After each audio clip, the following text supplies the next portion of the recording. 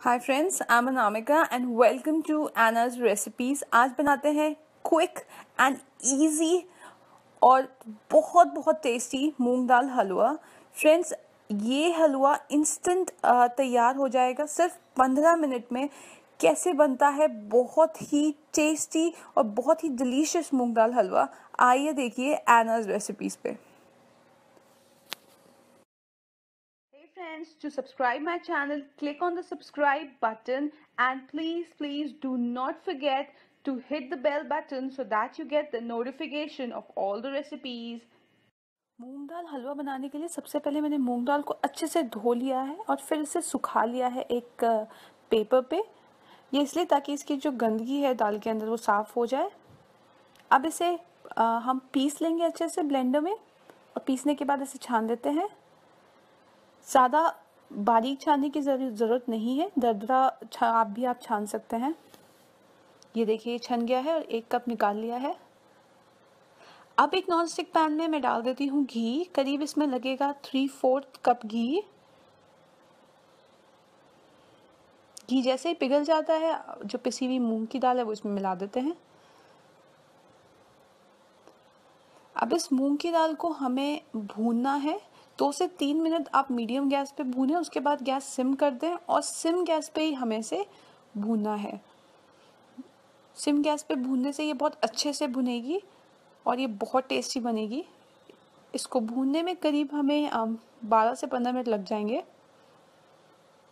अगर गैस ठंडी हो जाती है तो आप बीस बीस में थोड़ा तेज कर लें, लेकिन फिर उसे सिमनी पे ही भूनें। ये देखिए, इसका कलर थोड़ा सुनहरा हो रहा है।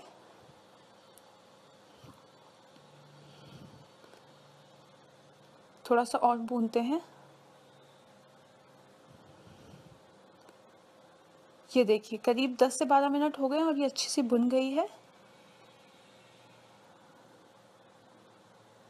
इसका कलर भी डार्क ब्राउन हो गया है, आप देख लीजिए। अब इस वक्त पे हम इसमें मिलाएँगे दूध। तो इसमें ऐड कर देते हैं फुल क्रीम दूध, करीब दो से ढाई कप। अगर हमने एक कप मूंग की दाल ली है, उसका पाउडर लिया है तो दो से ढाई कप हम दूध लेंगे। और फिर इसे भून लेंगे करीब चार से पाँच मिनट और।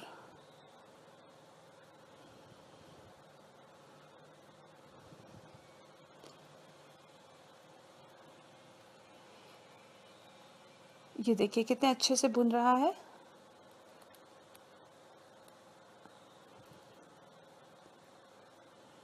अब मूंग दाल का हलवा बनाने के लिए आपको दाल को घंटों भिगो के पीस के बनाने की ज़रूरत नहीं है।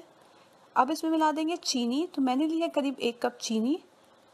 मैं मीठा आ, कम पसंद करती हूँ। तो एक कप चीनी बहुत है। अगर आप ज़्यादा मीठा खाते हैं तो डेढ़ कप डाल सकते हैं।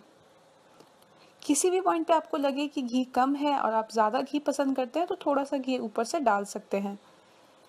अब हमें इसे और मिक्स करना है। करीब चार से पाँच मिनट और जब चीनी इसमें अच्छे से घुल जाए और ये कॉर्नर से घी भी छोड़ने लगेगा। तो इसे मिला लेते हैं अच्छे से।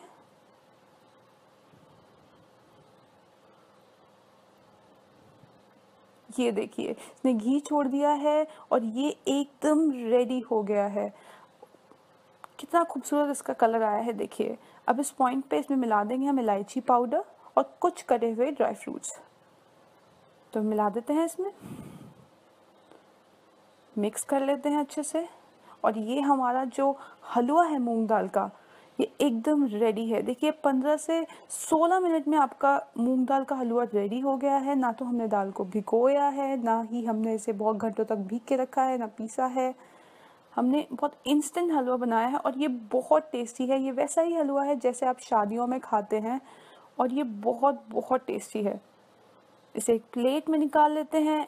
इसे गार्निश करिए पिसे हुए बादाम पिस्ते के साथ ड्राई फ्रूट्स के साथ और इसे खिलाइए अपने फैमिली मेंबर्स को, मेहमानों को।